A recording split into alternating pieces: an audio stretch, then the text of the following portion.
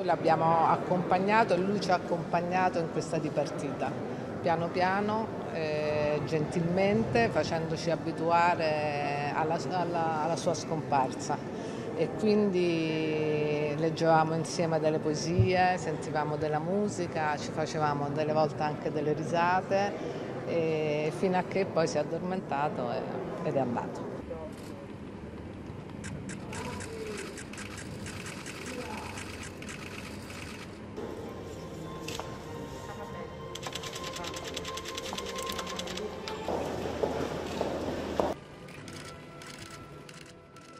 L'ultimo incontro che abbiamo avuto è stato, proprio, è stato proprio bello perché lui voleva molto parlare di futuro. E dunque questo grandissimo ottimismo e questo grande coraggio a volere stimolare il, in modo da poter creare un mondo e un paese migliore, più forte. E credo che questo suo ottimismo è sicuramente il ricordo più, più bello e importante che, che mi ha lasciato.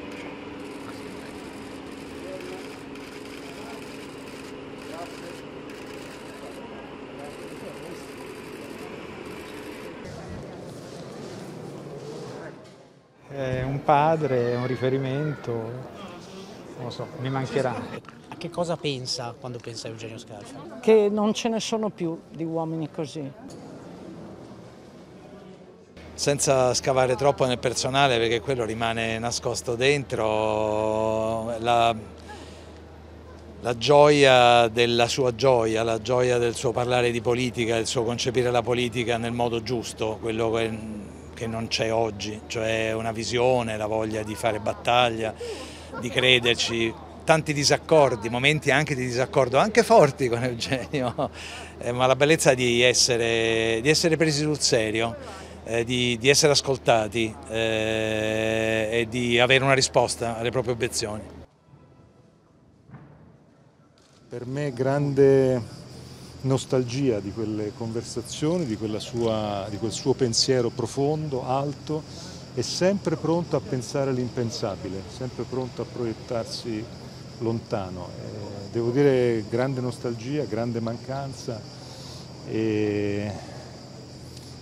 veramente una punta di grande malinconia, però anche per quanto mi riguarda almeno il pensiero, la fortuna di aver avuto tante occasioni per eh, poter dialogare con lui, discutere con lui. Lui ha sempre avuto una, un rapporto anche con uh, la sua redazione, sempre di autorevole molto, ma sempre poi amico di tutti i redattori che poi andavano magari a cercarlo perché erano lasciati da fidanzato o la fidanzata o perché avevano un problema, quindi c'era un rapporto professionale di grande scuola di giornalismo ma allo stesso tempo di, di grandissima amicizia e complicità con, con moltissimi dei, dei redattori che lui ha avuto. Rimpianti no, ha fatto una vita fortunatissima, lunghissima, si è divertito tantissimo, ha avuto un impegno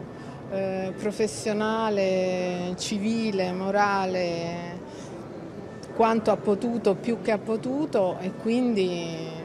eh, direi che era sicuramente molto appagato della sua vita, pur mantenendo sempre la curiosità per cose nuove. Questo sì, fino all'ultimo momento, anche di una cosa piccola magari,